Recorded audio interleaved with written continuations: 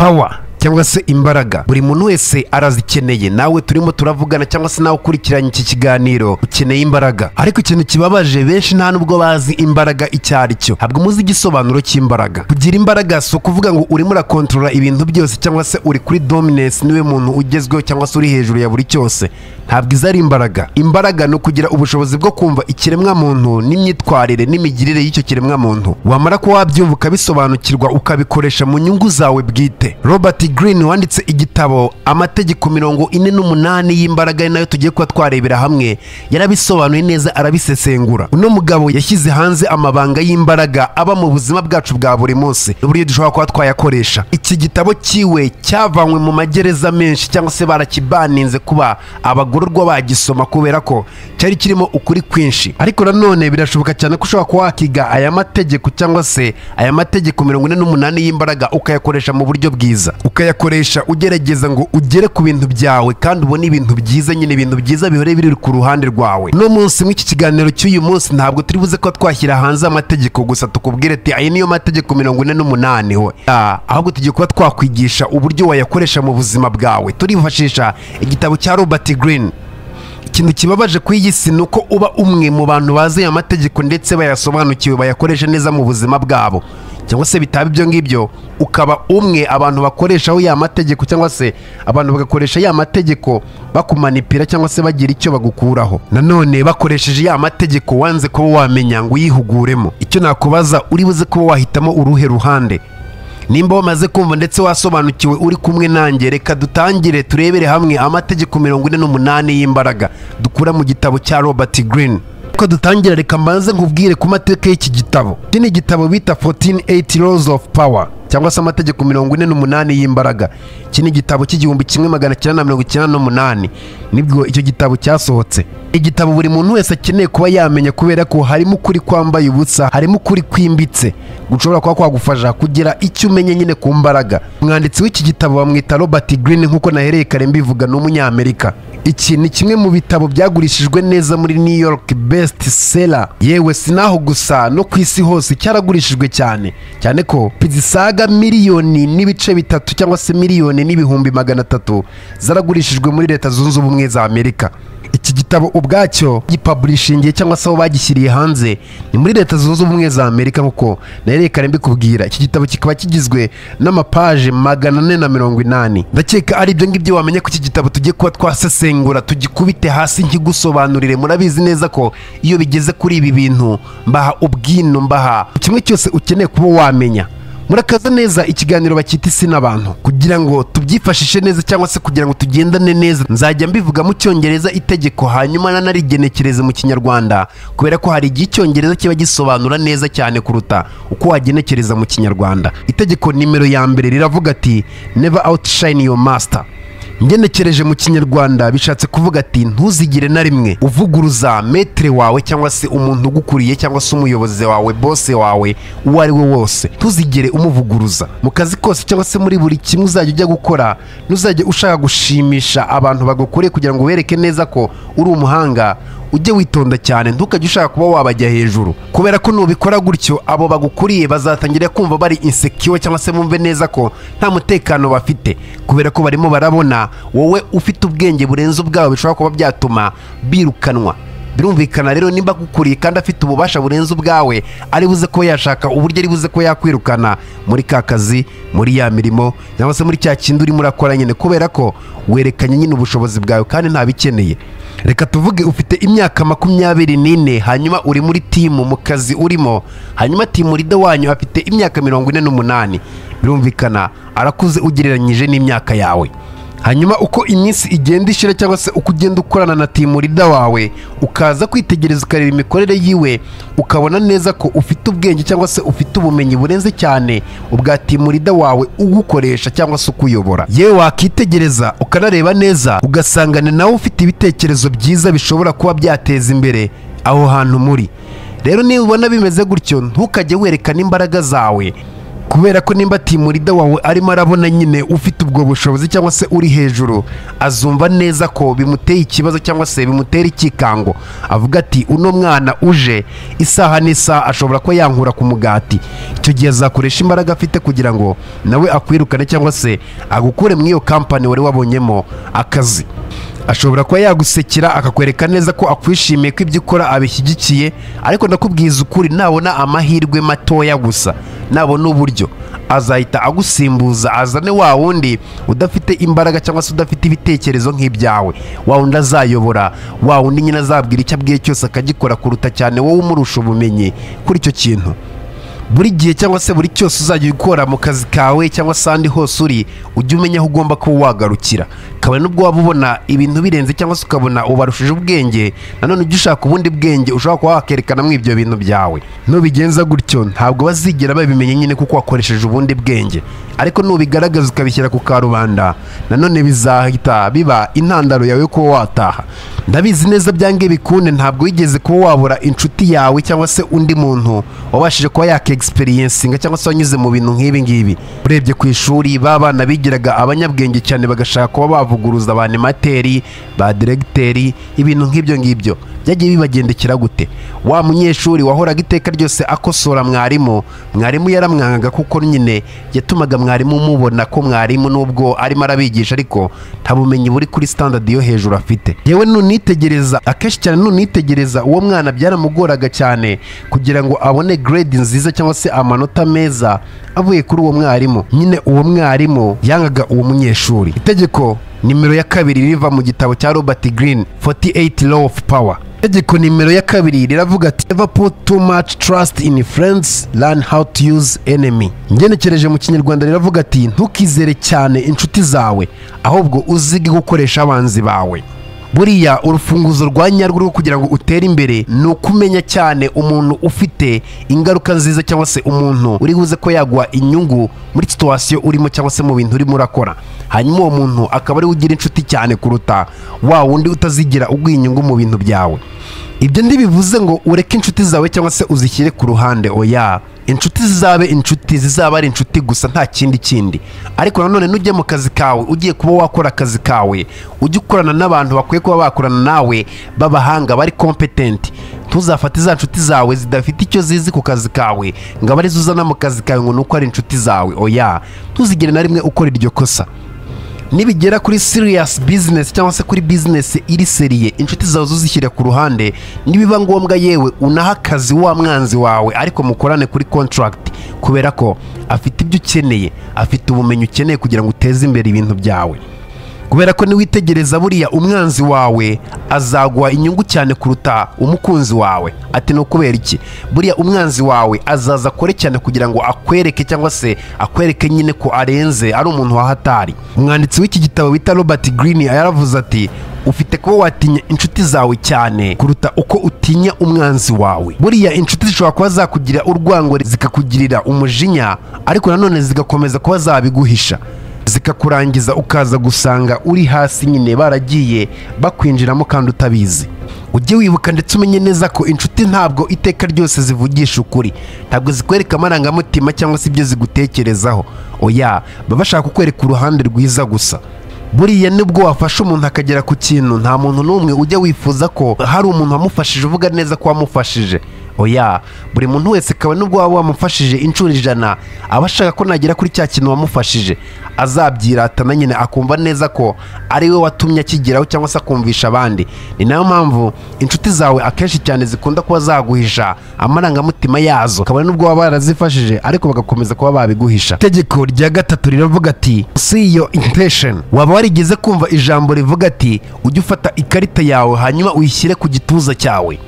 Nimba warigeze kubyumva ukabisobanukirwa iri tegeko ni byo rishatse kuba ryasobanura cyane. Muri iyi si amakuru agenda yirukanka cyane ku muvuduko uri hejuru birumvikana cyane ko kwerekana cyangwa se gushyira hanze imipangu yawe biba bimeze nko kuba wafata igitabo cyawe cyangwa se uburyo uzakoramo ibintu hanyuma ukabiha umwanzi wawe akabikoresha kuba yakurwanya. Ibi ntabwo bivuze ati ujye ukomeza uhishe amabanga yawe cyangwa se ukomeze uhishe amarangamutima yawe uba umuntu ubika amabanga oya ahubwo ushatse gusobanura neza ngo jya ugira ibyo uvuga n'ibyo utagomba kuba wavuga. Ujye wibuka ibi bimeze nk'umukino w'amakarita. Ntabwo utsinda bakinnyi barimo barakina amakarita ari umuntu werekanye amakarita yiwe. Umuntu utsinda ni uwerekanye ikarita mu gihe cya nyacyo mu gihe abantu batari biteze. Ikindi gihe mu gihe ufite porojegiti wumva neza ko wumva neza ko uyishimiye cyangwa se ikindi kintu mu buzima bwawe ujye witonda ugipozinge ubanze witegereze urebe. Ntuzajya ujya kuvuga ikintu icyo ari cyo cyose ujye wibaza wowe ubwawe. Ese ibi bintu ngiye kuba navuga ninde ukeneye kuba wabyumva? Ninde wabimbajije se ahubwo mbere y'uko mbivuga? Ese wowe wabimbajije afite uburenganzira bwo kubimbaza afite uburenganzira bwo kubimenya? Ujye ukontorora amagambo yawe kubera ko uko uvuga cyane hari igihe uba urimo uratanga amakuru yawe ya nyayo ku banzi bawe bakifashisha ya makuru kugira ngo bagushyire hasi. Itegeko nimero ya kane riravuga ati always say less than necessary. Iteka ryose nujya kuvuga ujye uvuga munsi cyane y'ibikenewe. Buriya uko uvuga cyane cyangwa se uko ukomeza uvuga amagambo menshi ni nako abantu bataba bari interested cyangwa se bataba bagikeneye kumva ibintu uvuga. Birumvikana cyane biragusaba kugabanya amagambo no kugabanya ibyo uri buze kuba wavuga. Buriya umuntu uvuga cyane cyangwa se umuntu ufite amagambo menshi haba hari n'amahirwe menshi cyane y'uko ari buze kuba yavuga ibintu by'ubugoryi cyane kuruta wa wundi wivugira makeya. Uzitegereza abantu bakomeye cyangwa se abantu b'abanyacyubahiro. Bose bakontorora amagambo yabo. Ikintu bita amagambo cyangwa se kugira ijambo barekura baratekereza cyane. Ibi ngibi ni byo bituma nyine utabasha kuba wabamenya cyangwa se ngo ubamenyere. Kubera ko biragoye cyane ko uzigera umenya icyo barimo baratekereza kubera ko buri jambo bagiye gusohora barabanza bakarizunguza mu kanwa bakibaza ati iri jambo ngiye kuvuga ntabwo ribuze kuba ryasenya. Ese koko rirakwiye cyangwa ndireke? Ibi bigakora cyane iyo ugeze muri interiviyu ugiye kuba wasaba akazi kubera ko iyo uvuga cyane ukarengera. Hari igihe bavuga ati uno muntu rero uburyo ameze ari uku nguku bimeze ntabwo ari umuntu dukeneye mu kazi kacu. Nuza kongera ibibazo by'abakozi bavuga cyane kandi buriya. Kuvuga cyane ntabwo ari ikimenyetso cy'uko uri umunyabwenge. Uzitegereze buriya abantu bavuga gakeya si ukuvuga ati ntabwo bazi kunegosiyetinga cyangwa se kumvikana. Oya ahubwo bariya ni abahanga. Kubera ko wowe uravuga we akakumvira hanyuma akakubwira ijambo rimwe. Iryo jambo rimwe ugasigara ukomeza kuba warivugaho kuko uvuga cyane. Ariko sitiri kumva ibyo urimo uravuga byose birimo birarushwa agaciro na rya jambo rimwe. Ukavuga ugasanga rya jambo ryaguteze ukigarura. Impamvu ni uko warivuze nyine yaritekereje azi neza ibyo yavuze. Guceceka ni ikintu cy'agaciro kubera ko bituma abantu batangira kukubona mu isura itandukanye n'iyo bakubonagamo. Buriya utavuga cyane ntabwo bivuze ko utavuga. Uzitegereze buriya hari abantu b'abanyabwenge bazi kuba bakontora situwasiyo mukaba murimo muravuga ukavuga yabona ucecetse cyangwa se yabona umeze nk'aho ubaye nyine bowadi kubera ko atavuga. Akazana indi topiki akagushyiramo ijambo rimwe. Akamera nk'aho yakije umuriro. Ubwo bwenge rero ni bwo ukeneye kuba wamenya kugira ngo ukontorore abandi ariko wowe ukontorore cyane ibyo uri buze kuba wavuga. Kubera ko kuvuga cyane bituma ubura imbaraga ntabwo kuvuga cyane bituma uzana imbaraga cyangwa se ugira igitinyiro. Itegeko nimero ya gatanu riravuga ati so much depend on reputation. Cyangwa se ibintu byinshi bishingiye ku bigwi byawe. Nitugera mu isi y'imbaraga cyangwa se mu isi y'abantu bakomeye ibigwi byawe cyangwa se ibyuzwiho cyane niyo karita uri buze kuba warisha kuruta ikindi icyo ari cyo cyose. Ujye ubitekereza cyane nk'aho ari seve yawe kubera ko aho uzajya ujya hose ibigwi byawe ni byo bizajya bikuranga. Nicyo kintu bazajya bareba bagahita babona ati uno muntu ni uyu nguyu. Ni na yo mpamvu ufite kuba warinda ibigwi byawe ku giciro icyo ari cyo cyose. Iri ni itegeko ritari negosiyabure cyangwa se ni itegeko influencinga buri muntu wese icyo ari buze kuba yakora. Nta bindi nta n'ikindi kindi urengejeho. Niwitegereza neza cyane ibigwi byacu cyangwa se abo turi bo biri ku mbuga nkoranyambaga. Biroroshye cyane ko wahita ujya ku mbuga nkoranyambaga ukandikamo Oliver Regra ugahita umenya neza uwo Oliver Regra ari we n'ibikorwa byiwe n'ahaba ubuzima bwe bwose akabubona. Birumvikana cyane. Nanone birashoboka cyane ko nimba bimeze gutyo hari ubundi buryo ushobora kuba wakiyerekanamo butandukanye n'uko abantu bakubona cyangwa se bakuzi. Buriya ikintu cya mbere cyangwa se ibyo wanyuzemo iyo bigeze ku bigwi ntabwo ari byo biba bivuze ngo uri uwo nguwo. Ahubwo ibyo urimo bizamara igihe kirekire cyangwa se ubuzima ufite kano kanya ibyo ni byo bifite agaciro cyane kuruta ibyo wahereyeho. Ibikorwa byawe ujye uhora ubikora ube consistency nimba abantu barakumenye ko iki kintu ukomeza ugikore nyine ntuzagihagarare. Kandi ube umwizerwa mu bikorwa byawe. Ibyo ari byo byose ukomeze ukore ibikorwa byawe babikumenyeho nanone ube umwizerwa. Ikiri hejuru ya byose ugire ikintu wihariyeho ku buryo buri muntu wese azajya agukeneraho icyo kintu nyine wihariyeho. Nubona hari umuntu ushaka kuba yakangiza ibigwi byawe cyangwa se ushaka kubyinjira uko abonye uzahagarare ubirwanire kubera ko ibigwi byawe mu iyi si igezweho y'imbaraga ni cyo kintu kirenze ibindi. Kureka umuntu akakwangiriza ibigwi byawe ntabwo bizarangira nyine gutya atabyangije. Utazigera wibeshya ngo kumureka bizatuma ibigwi byawe bikomeza kuba byahagarara. Oya nutirwanira nta wundi uzakurwanira. Itegeko nimero ya gatandatu kote attention at all cost. Mu isi buri muntu wese ameze nk'aho arimo arashaka ikintu. Cyitwa ubutunzi cyangwa se imbaraga gukira ukaba umwe mu bantu nyine beza isi imeze. Ariko nanone ikintu gihari imbaraga za nyazo ziri mu kumenya igihe cya nyacyo ugomba kuba wabona ibyo bintu abantu benshi barimo barashaka. Byaba ubutunzi cyangwa se kubahwa n'imbaraga. Kuba uwo muntu ntabwo bigusaba kuba umuntu ufite ijwi riri hejuru cyangwa se umuntu wishyira hejuru kuruta abandi. Oya ntabwo ari uko. Ahubwo ni ukuba wa muntu ufata iya mbere mu gihe iyo ya mbere igomba kuba yafatwa cyangwa se mu gihe cya nyacyo ugomba kuba watera intambwe ushaka kuba watera. Haba mu kazi kawe ibikorwa byawe yewe no mu bitekerezo byawe. Iki ni cya gihe uba uri umuntu bagomba kuba bakitwaraho neza kubera ko mu gihe bashaka ibisubizo ni we biboneka iwawe gusa nta handi. Ugomba kumenya uburyo ugomba kuba wa muntu uzana agaciro ukaba wa muntu uzana ibintu byihariye muri rubanda cyangwa se mu bandi bantu bose. Nibigenda gutyo ntabwo uzaba urimo urafata atansiyo y'abantu ahubwo uzaba urimo urategeka atensheni y'abantu. Fatirana igihe cyawe uhaguruke hanyuma utume kuba uhari bibara utume kuba peresansi yawe ihari. Abantu bose bumva neza ko bikwiye kuba byahabwa agaciro. Itegeko nimero ya karindwi get others to do the work for you. Tuma abandi bantu bagukorera akazi. Nimunkurikirana ibi biganiro by'isi n'abantu ibi bintu wamaze kubisobanukirwa neza ntabwo nkeka ko ngera kubisobanura. Ariko nanone nimba uri mushyashya reka mbigusobanurireho gakeya. Buriya amasaha mfite nge Oliver Gra makumyabiri n'ane niyo Bill Gates afite niyo Elon Musk afite.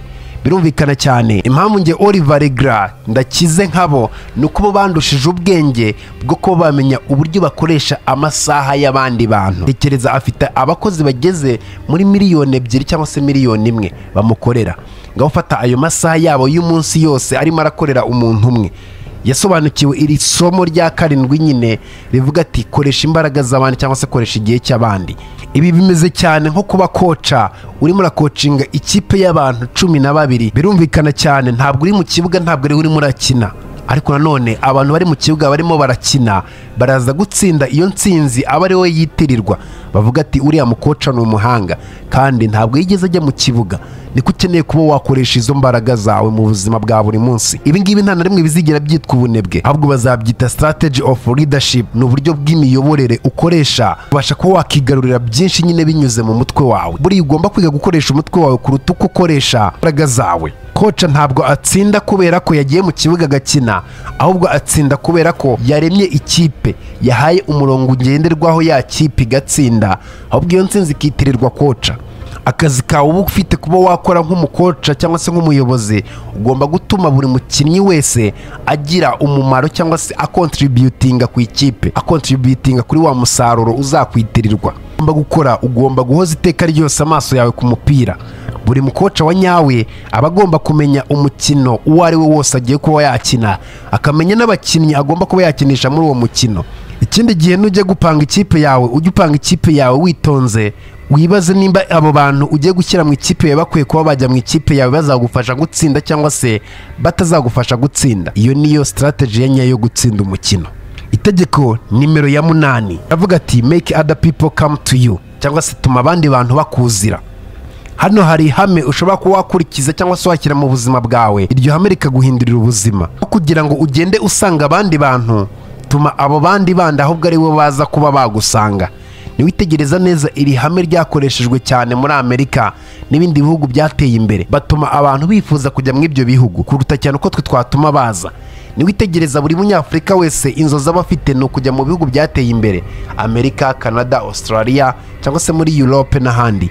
Ariko mu by'ukuri ntabwo bo bifuza kuba baza ahangaha ngo bahature bahagire ubuzima. Kandi mu by'ukuri byose bikoreshwa muri propaganda zabo zo kwamamaza. Batwereka ibintu byiza gusa ntabwo batwereka ibintu bibi. Ariko iyo ugezeyo ni bwo uhita ubona neza ko nyine harimo itandukaniro.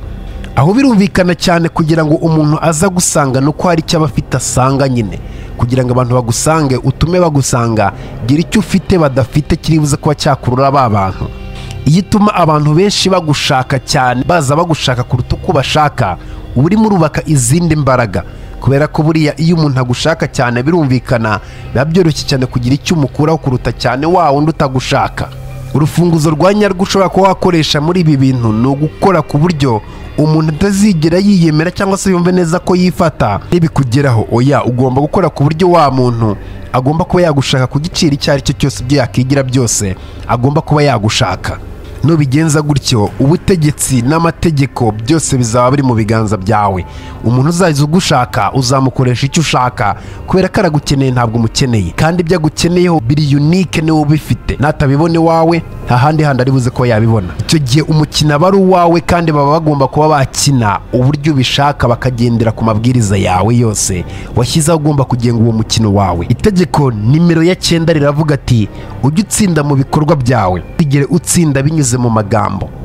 Biriza bivuze ngo win through your actions never through your arguments. Ubu ni uburyo bwiza cyane buriya iyo wamaze gusobanukirwa ukamenya neza ko uri umukozi cyane kuruta uko uri umuvuzi. Icyo gihe nanone umuntu azajya aza arebe ibikorwa byawe arebe n'uburyo ubigenza ahita avuga ati wawu uno muntu akwiye icyubahiro ntaranavuga. Ibyo ni byo ukeneye cyane kuruta kwirirwa wibaraguza ubusa. Ni na yo mpamvu buriya nkubwira ati ujye witondera abantu bakoresha amagambo cyane abantu bafite ururimi rutyaye buriya bariya abantu ujye ubitondera. Kubera ko akenshi cyane bariya aba ari abasikama baba baje kuba bakubeshya.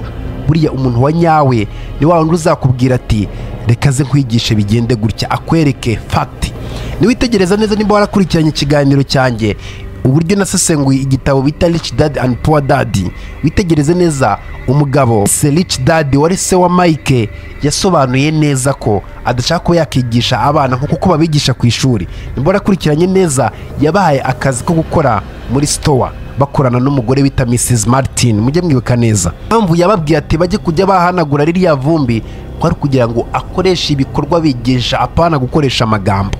Ibi biri buze kuba byakubitana cyane n'iri tegeko rya cyenda muri aya mategeko y'imbaraga. Ntuzajya ujye guterana n'umuntu amagambo ujye wibuka neza ko ayo magambo mugiye kuba mwaterana n'iby'igihe gitoya ntabwo bizigera bibaho igihe kirekire. Ujye umenya neza ko ibikorwa ni byo by'ingenzi cyane kuruta uko wakirirwa uvuga. Itegeko nimero ya cumi riravuga ati void the unhappy and unlucky. Uzirinde kuba umuntu utishimye unongere wirinde kuba umuntu utagira amahirwe. Umunyamyaka ujye ubyirinda. Ujye wibuka neza ko ibibazo cyangwa se indwara y'undi muntu ishobora kuba yakwica. Niba inshuti yawe irwaye ukayiguma hafi kandi iyo ndwara yandura ujye umenya neza ko ubuzima bwawe nawe bushobora kuba bwagendera aho ngaho. Birumvikana cyane ko ukomeza wisirisimbya kuri wa muntu urwaye urimo urongera ingaruka zawe zo kuba wapfa cyangwa se ibibazo byawe byo kuba wagira ibibazo ubyiyegereza cyane. Ibi bikunda kuba byaba ushobora kumva neza ko urimo urafasha umugezi wa nabi cyangwa se umuntu ukora ibyaha ukamurinda kuba yajya muri gereza. Cyangwa se yaba ari muri gereza akagukoresha mu bikorwa bye bibi. Ukumva neza ko urimo uramufasha. Ariko mu by'ukuri urimo urishyira mu kangaratete urimo urasatira cyane kuba wamusanga. Iyo ngiyo ari ntuzajya ujya kugira abantu inshuti ujye ureba cyane ujye ureba ahantu hari ibintu byiza hari amahirwe. Ukabona ati ibi bintu nubwo ari byiza ni byiza koko birakwiye. Wishaka kuba inshuti n'ibintu bibi wishaka kwishora mu bintu bibi ngo ni uko umuntu muziranye cyangwa se hari ikindi kindi oya bigendere kure. Ujye wiya sosiyete cyangwa se ujye uba inshuti cyane n'ibyishimo. Ahantu hari ibyishimo ujye uhabarizwa tukajya uhatangwa. Itegeko rya cumi na rimwe riravuga ati to keep people depend on you. Iga uburyo utuma abandi bantu bakwishingikirizaho cyangwa se ubuzima bwabo buba bushingiye kuri wowe. Buriya independent cyangwa se kwigenga ni ikintu cya hatari kirenze cyane. Ariko nanone dependency mu isi y'imbaraga ni cyo kintu cya hatari. Buri muntu wese ushaka gukonkaringa isi cyangwa se buri muntu wese ushaka gufata isi agomba kuba yakoresha iryo tegeko ryo gutuma abantu baba dependent kuri we kuruta uko baba independent. Tekereza kino kintu. Nimba abantu bishoboka cyane ko bakuripuresinga cyangwa se baguhinduza undi birumvikana cyane. Icyo gihe nta gaciro kari hejuru zaba ufite. Ariko mu gihe uri unike cyangwa se ibintu byawe ubyihariyeho icyo gihe nanone nta muntu uzapfa kugutinyuka kubera ko bazakubahira nyine ibyawe byihariye. Ikintu cyagiye buri muntu wese azajya abona akabona intsinzi yawe cyangwa se gutera imbere kwawe. Abifitemo inyungu. Nabona bifitemo inyungu nawe azagushyigikira azakora ibishoboka byose kugira ngo utere imbere. Niyo mpamvu ugomba kuba watuma buri bantu bose bagushingiraho. Uzitegereze urebe kampani yawe cyangwa se umukoresha wawe iyo arimo arahomba cyangwa se arimo aragenda bizinesi ye imanuka itameze neza. Icyo gihe umutima urakurya kuko uba uvuga ati karabaye anytime nshobora kuba nasubira cyaro cyangwa se ahandi handi. Icyo gihe nawe birumvikana utangira gukora ibishoboka byose kugira ngo urebe neza ko bizinesi ya bosi wawe yakomeza kuba yaba ishikamye. Uba concentrated ube wa muntu uhora iteka ryose abantu bifuza. Niba ashaka netiwake irenze byumvikane cyane ko bagomba kuba bakunyuraho kugira ngo iyo netiwake bayibone. Niba ashaka kugira ikindi kintu bakora ube kipowenti kandi ube dominensi cyane ku buryo nta wundi wundi wakwigerereza uko abantu benshi bagushingiyeho ni nako imbaraga nyinshi zikomeza kuba zajya mu biganza byawe. Itegeko nimero ya cumi na kabiri avuga ati selective honest and generosity disarm your victim. Buriya icyizere karensi cyangwa se ni nk'ikintu gihenze cyane. Reka mvuge ni nk'amafaranga ahenze cyane. Iri tegeko ritwigisha neza uburyo tugomba kuba twashora icyizere cyacu tugakoresha ubwenge bwacu cyane. Ikintu cya nyacyo cyangwa se ikintu wamenya ko uri ahangaha kuruta ikindi cyose ni ukuba selective cyane. Ukamenya abantu uri buhe igihe cyawe ukamenya n'abantu utagomba kuba waha icyizere cyawe. Ukaba umugugu iyo bigeze ku cyizere cyawe nabo ugomba kuba wakizera ntabwo buri muntu wese aba akwiye icyizere cyawe. Iki gihe biragusaba kumva neza odiyanse yawe cyangwa se abantu bawe. Umenye neza imiterere yabo kugira ngo umenye neza n'uko ugomba kuba wabatwara. Iyo abantu babona neza ubitwaraho neza ubereka umutima mwiza nabo bazagusubiza ibyo ngibyo. Bikaba cyane n'iyo ubagirira nabi. Nawe iyo akubonye urwuho akugirira nabi rwose nta kintu na kimwe yikanga. Itegeko nimero ya cumi na gatatu. Niba gusaba ubufasha uzahagaragare ubafashe ariko nanone ubafashe ku nyungu zawe bwite. Uzabafashe kuko wabagiriye impuhwe cyangwa se ushaka kubereka umutima mwiza. Nizo bivuze ute? When asking for help appear to people's self interest never to their mercy or gratitude. Buriya nushaka ubufasha ku muntu ntuzagende umwibutsa ibyo wamukoreye igihe kinini cyahashize. Kubera ko niyumva neza kuri muritwaza ibyo ngibyo azahita ashaka uburyo bwa nyabwo bwo kuba yakwirengagiza. Ahubwo aho kugira ahubwo kugira ngo ubone bwa bufasha bwe bikoroheye shaka ikintu. Ku buryo icyo kintu nukimubwira ari buze kuba yagufasha kubera ko nawe ari buze kuba yabona ko ari buze kuba yakungukira mu kugufasha gusa. Pana kugufasha ugasanga we nta nyungu abifitemo. Uzitegereze iyo hari ikintu ushaka kuba wabaza inshuti yawe cyangwa se hari inama ushaka kuba wamugisha wenda urashaka kuba wamuguza amafaranga ibintu nk'ibyo ngibyo. Ukamuhamagara azakubwira ati ndarushye ndi ku kazi. Mbega nyine atangiye kugira excuse ibi ndagukinga mu maso kubera ko ntashaka kuba yakuvugisha. Ariko bihindure gatoya uvuga ati hari diru ihari. Ati iyo diru imeze ute irimo amafaranga irimo amafaranga. Arahita aguha umutima we wose n'amatwi ye yose byose abishyira aho ngaho. Kubera ko yumvise neza ko hari diru nyine agiye kuba yajyamo. Nimba ushaka ubufasha bunyuze muri diru apana kumva neza ko umuntu azagufasha gusa. Yewe n'iyo uwo muntu atakubwiye cyangwa se atagusubije uko utabishaka arakubwira ati buretse nzakuvugisha cyangwa se nzakubwira. Birumvikana icyo gihe ahita ashyira ikirego cyawe ku ruhande kubera ko aba yumva neza ko ushaka ubufasha ariko nta nyungu n'imwe afite muri bwa bufasha agiye kuba yaguha. Ugomba gutekereza ati ese ko ugiye gusaba ubufasha? Uwo muntu ugiye gusaba ubufasha wehe azungukira iki muri ibi ngibi cyangwa se muri ibi bibazo byanjye? Ubyangu ubyemere winube uvuga ati Oliver ari kumbwira iki? Niko kuri guhari buri muntu wese arashaka inyungu ku kibi n'icyiza n'urugero rworoshye cyane. Nimba ushaka kuba nakubwira ku mikorere ya YouTube ngiye kukubwira ibyo kuko ndi content creator nyine. Ngiye kuguha urugero bijyanye n'ibyo ndimo kugira ubyumve neza kugira ngo nabigusobanurire neza. Nimba ushaka inama ku mikorere ya YouTube ukambwira ati Oliver ndashaka kunyigisha YouTube. Ntabwo nkuzi cyangwa se uri inshuti yanjye ntabwo widuruka kuvugana. Ndakubwira ati mwana rero ndi bizi ndaza kukuvugisha. Kubera iki? Ndumva nyine ntabwo bikwiye. Ndavuga ati ese ndaherahe ariko nuvuga ati Oliver wari uzi n'ibindi? Hari diri ngufitiye. Cyangwa se ukambwira ati ese ko nshaka akanya waza tugasohokana nkakugurira kamwe? Byagenda bite? Mbega nyine kubera ko uri inshuti yanjye cyangwa se uri umuntu wa hafi yanjye nibuze kuba aravuga ati yewe hashize n'igihe kandi nawe uri buze kuba yagura. Reka ngende. Ningera aho ngaho tukanywa tukishima tugahuza urugwiro urambaza ati ese biriya bintu bikora ute? Utangire uzane inyungu zawe. Ariko mu by'ukuri nanjye nabonyemo ikintu muri za nyungu zawe. Swati nasohotse nishimye twabonanye tutari duherukana kubonana kandi n'ikindi uri buze kuba wakishyura ya bili icyo gihe birumvikana nawe ndi buze kuba nakubwira ati rero uhereye ahangaha byagenda neza kuruta uko wahera ahangaha inyungu zawe zigomba kujya imbere y'ibindi byose. Itegeko rya cumi na kane. Iri ni itegeko rimeze nk'aho rigoranye cyane. Kubera ko iri tegeko riravuga ati hagarika ibintu byo kuvuga ati muri inshuti n'umuntu ahubwo mutangire wakorana na ya nshuti yawe nk'aho uri umunetsi. Pose as a friend work as spy. Hagarika ibyo gukora nk'aho muri inshuti mutangiye mukorane nk'aho urimo uramuneka buriya ikintu cy'ingenzi cyane ni amakuru. Niwitegereza neza his excellence paul kagame begeze kuba bamubaza ati baramubwira ati n'iki kintu utabaho udafite? Yavuze amakuru kandi ntiyabitekerejeho cyane. Birumvikana iyo umuntu akubwiye ikintu atagitekerejeho ni uko icyo kintu aba agifite hafi yiwe aba ari priorite kuri we. Buriya amakuru ni cyo kintu cy'ingenzi utabaho udafite. Ni cyo kintu ugomba kuba wamenya kuruta ibindi byose uri buze kuba wamenya. Muri buri level cyangwa se muri buri kintu cyose urimo uko umenya byinshi ni nako ugenda ujya mu myanya iri hejuru nyine kubera ko wamenya ibyo byinshi. Ibi bisobanuye neza cyane ko ugomba kumva kuruta uko uvuga ukamenya ibintu kuruta uko werekana ibintu byawe ubishyira hanze. Ukabaza ibibazo byinshi cyane ugatuma abo bantu urimo urabaza berekana cyangwa se biyerekana cyane kuruta uko wiyerekana. Icyo ukoreye ibyo ngibyo ni ukubona motivation cyangwa se ikintu gituma abo bantu bakora ukanamenya iby'ingenzi cyane bashyize imbere y'ibindi. Sipayi context ni ukuba umuntu uri observer cyangwa se kumenya buri kimwe cyose umuntu uri hafi yawe akora. Ni ibigufasha kumenya ibyo ukeneye kugira ngo ufate umwanzuro cyangwa se kugira ngo hagire ibyo ushyira nyine ku murongo. Kubera ko wamaze kuba wasobanukirwa ibyo ukeneye ako kanya. Biturutse ku makuru wavanye kuri wa wundi wita inshuti yawe ariko wabanye nawe nk'aho urimo uramusipayinga cyangwa se nk'aho urimo uramuneka ugomba kwikunda cyane kuruta ikindi cyose kubera ko mu isi y'imbaraga cyangwa se mu isi y'abantu bari hejuru wumvishije cyane cyangwa se agasobanukirwa neza amategeko y'umukino.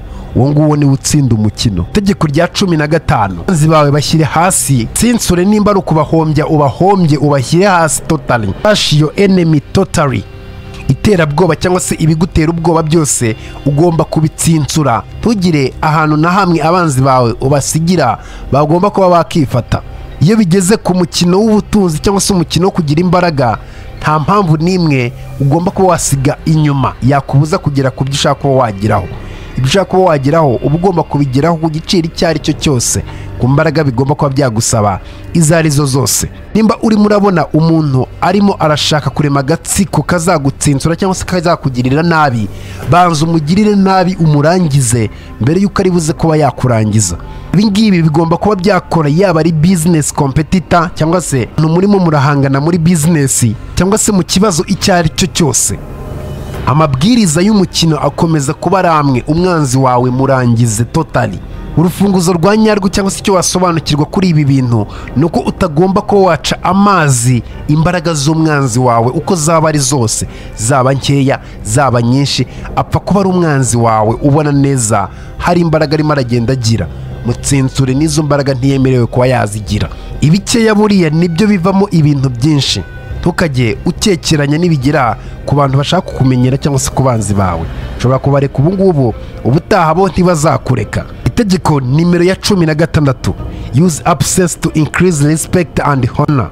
Iri tegeko risobanura neza cyane ko ugomba gufatirana. Koresha kuba umuntu adahari cyangwa se kuba umuntu agiye gatoya mu kubona icyubahiro kongera uburyo abantu bakubahamo. Iya kuba umuntu wakutsikamiraga cyangwa se kuba umuntu mu mbaraga ari hejuru yawe adatuma wazamuka agiye aba ari cyo gihe cyawe nawe ngo wigaragaze ku giciro icyo ari cyo cyose uburyo na wa muntu nagaruka ahubwo asanga wa mwanya warafashwe akagenda akaguma iyo yagiye. Niyo si dutuyemo iki gitabo. Of power nta mbabazi cyerekana cyerekana ikintu bita imbaraga n'uburyo zigomba kuba zabonwamo ko byiza cyangwa se ibibi. Iri tegeko rya cumi na gatandatu rya cumi na gatandatu ryibanga ryibanda cyane kuri psychology of scarcity cyangwa se yo kuba wabura. Itegeko rya cumi na gatandatu use absence to increase respect and honor. Ugomba kumva ndetse ugasobanukirwa neza cyane iyo umuntu ahora iteka ryose akubona mu maso yiwe. Iyo umuntu akubonera buri gihe cyose agushakiye icyo gihe nta kabuza uwo muntu ntabwo azigera kubaha nimba yanakubahaga icyo gihe icyubahiro yaguhaga kizagabanuka atangira kumenyere.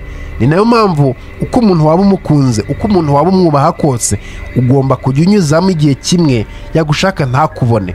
Atari uko udahari cyangwa se ikindi kindi. Ahubwo ari uko udashaka kumenyera. Buriya uko uba uhari umuntu akishima nanone uko ugomba kuba wagenda uwo muntu akagukumbura ni wowe ubigiramo uruhare. Nta na rimwe umuntu azakubona uko abikeneye ngo azaguha icyubahiro ukwiye. Ugomba gukoresha ukubura cyangwa se ukavuga ati uyu ni umuntu ngomba kugenda nkabura kabone n'ubwo yaba ashaka cyangwa se twaba turi kumwe. Ariko nkabura mu buryo bumwe cyangwa se ubundi kugira ngo amenye neza agaciro kanjye. Kubera ko hari abantu batazigira bamenya agaciro kawe kubera ko iteka ryose nyine urahari. Ikintu hano wakifashisha cya nyacyo ni ukubaransinga kubera ko n'ubundi abanyarwanda baciye umugani ngo ugenda uzi neza ko uzakumburwa ugasanga waribagiranye. Birumvikana rero icyo gihe biragusaba. Kubura ariko nanone byose ukabikorera mu gihe narakubwiye ati ikintu kirenze igikenewe kiba kibi. Itegeko nimero ya cumi na karindwi riravuga ati cultivate a layer of unpredictability. Bishatse kuvuga mu kinyarwanda ati fata abandi bantu ubashyire mu iterabwoba cyangwa se bakomeze bagire iterabwoba muri bo. Hanyuma numara kubigenza gutyo mu kirere kitari kiteganyijwe. Hanyuma numara kubigenza gutyo uhinge mu kirere kitari giteganyijwe cyangwa se batatekerezaga ko gishobora kuba cyahingwamo. Predictability ni umwanzi ukomeye cyane w'imbaraga. Ugomba kumva neza ko buriya niba umuntu atagushyira hasi bitakunda ntabwo uwo muntu azigera ata umwanya ajya gupanga uburyo yagushyira hasi. Ibyo ngibyo rero kuba umuntu yumva neza ko atagushyira hasi akaba yifitemo ako kantu k'ubwoba bizaguha izindi mbaraga bizaguha. Ikindi kintu gituma ukomeza gutera imbere kubera ko yumva neza nyine ko atakumenyera. Ntabwo ukeneye ko buri muntu wese azajya amenya intambwe ikurikiye ugiye kuba watera. Oya buri muntu wese agomba kumenya ibyo agomba kuba yamenya. Kandi akamenya neza ko kuba atabizi ntabwo agomba kuba yanabimenya nyine. Ntabwo atinyuka ntakagire n'ubushobozi bwo kuba yakubaza ati kubera iki ibi bintu utabimbwiye? Oya ugomba kumubikamo ubwoba ku buryo nazajya yumva ijwi ryawe cyangwa se akumva neza agiye kugira icyo akubaza. Agomba gutinya akavuga ati oya ntabwo nabimubaza. Kubera ko ntabwo bikunda. Icyo ni cyo ukeneye. Ntabwo ukeneye ko abantu bakumenyera. Itegeko rya cumi n'umunani riravuga ati don't build your fortresses to protect yourself. Bivuze mu kinyarwanda ngo ntuzigere wubaka igihome cyo kukurinda wowe ubwawe cyangwa se cyo kwirinda. Komeza rivuga ati isolation is dangerous. Ko kwigunga ni ibintu bibi cyane. Niwubaka igihome birumvikana icyo gihome ni cyo uzajya kwigungiramo.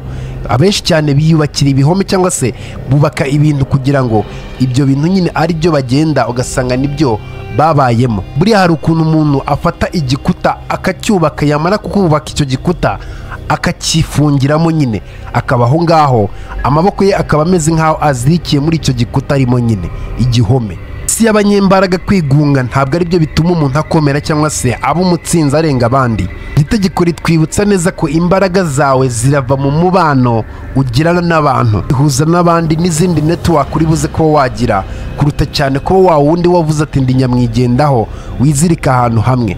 Ushaka kuba waba nyamwigendaho ujye wibuka neza ko urimo uragenda ubura isoko. Wibuke neza ko nanone urimo uragenda ujya kure cyane y'ibintu bigezweho cyangwa se trends. Icyo gihe nanone uba urimo uragenda ubura amahirwe cyangwa se opportunity yo gukoroboretinga yo gukoroboretinga no gukorana n'abandi b'abatsinzi bazi neza ikibuga kuruta uko wowe ukizi. Ni iby'ingenzi kwirinda kubera ko ni iby'ingenzi nyine ntacyo wabihinduraho. Gusa ujye wibuka neza ko kwirinda ugakabya bishobora kuba byakubera igihome ntibibe kwirinda gusa. Aho kugira ngo ujye kwigunga cyangwa se ube nyakamwe watangira gushaka uburyo uri buze kuba wakubaka ibiraro bridges biri buze kuba byaguhuza n'abandi. Itegeko rya cumi n'icyenda riravuga ati know who you are dealing with.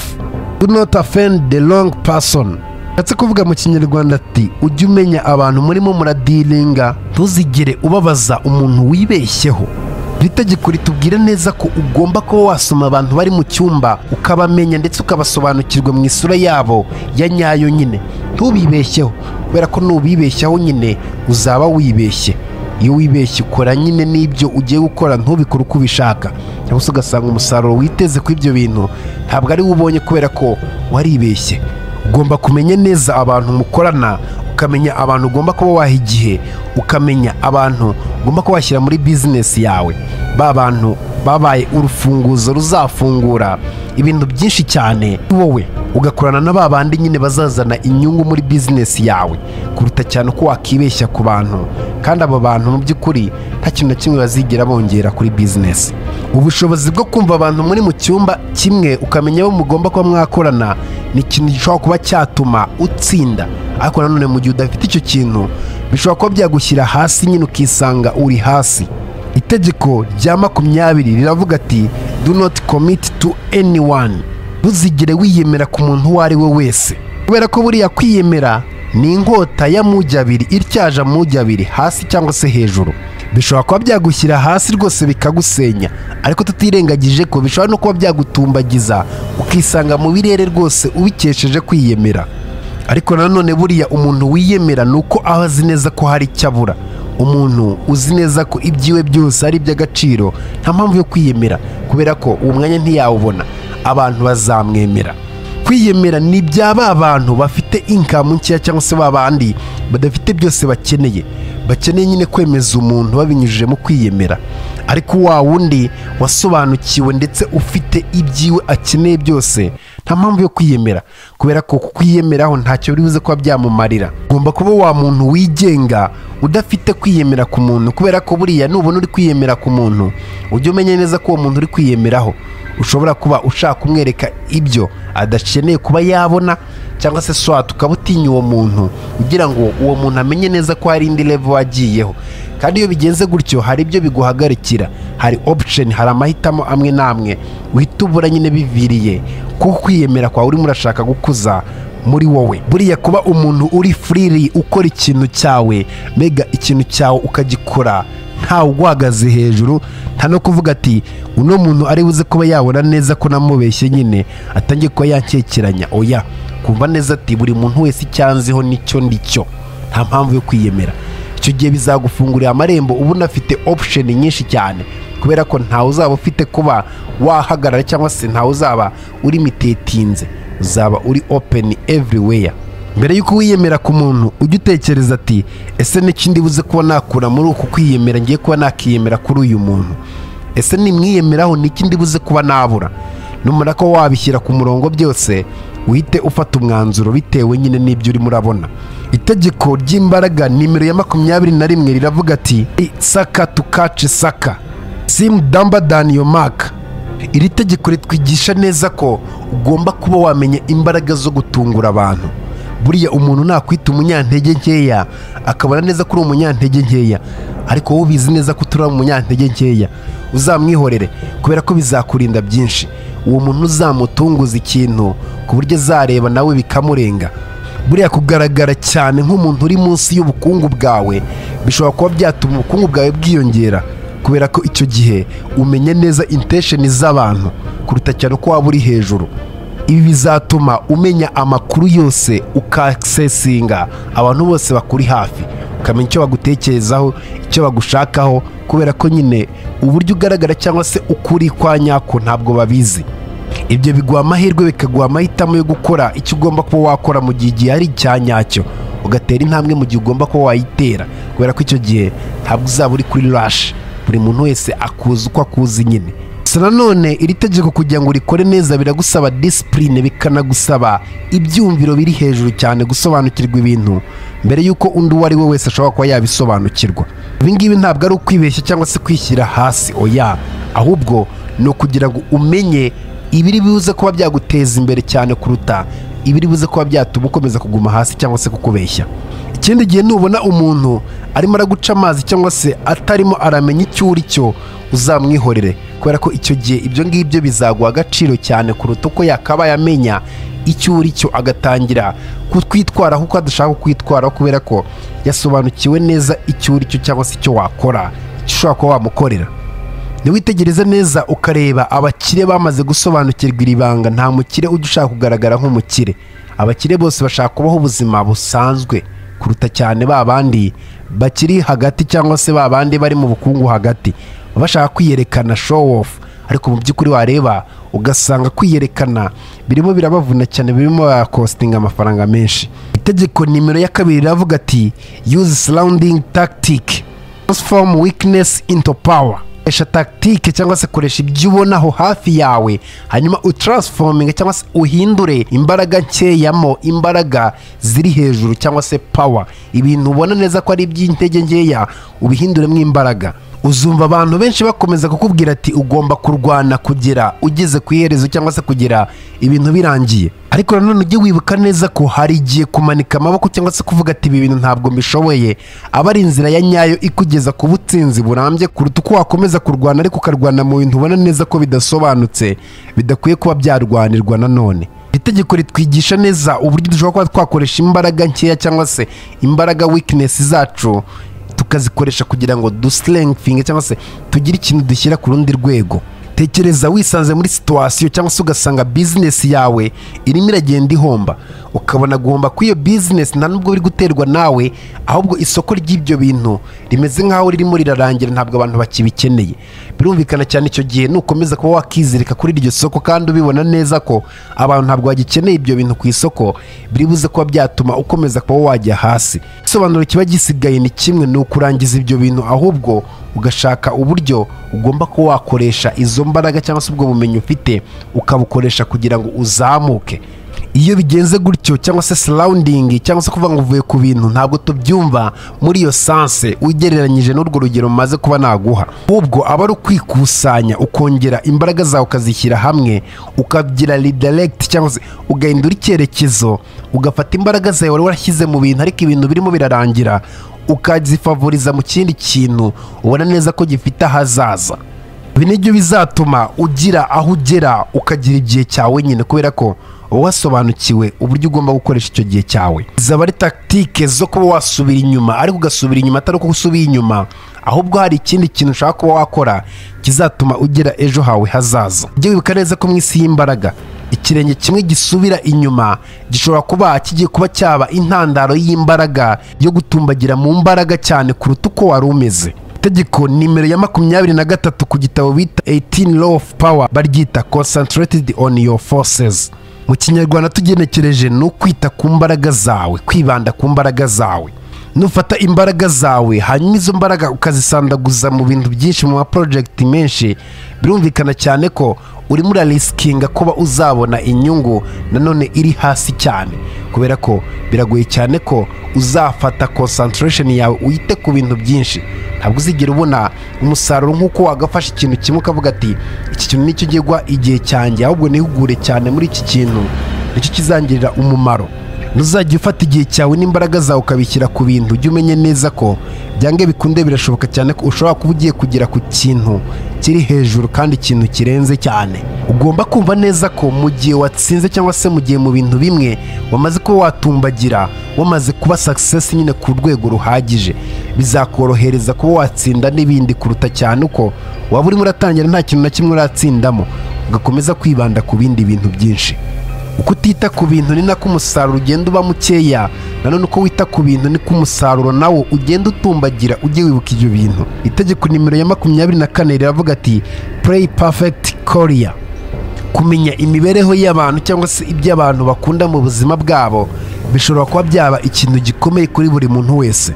Ariko mu gihe wabasha kuba wasobanukirwa neza icyo abantu bakeneye n'ibyo bashaka icyo gihe nanone uba wakomeje kuba waba umutsinzi.